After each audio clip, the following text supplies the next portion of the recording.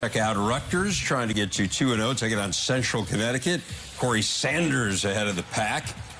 Rutgers shot just 35% in this game. The Blue Devils hung around the entire time. Tyler Kohl for three to tie it at 44. But here's Sanders ahead to Mike Williams, 23 after sitting out the opener 71 to 67.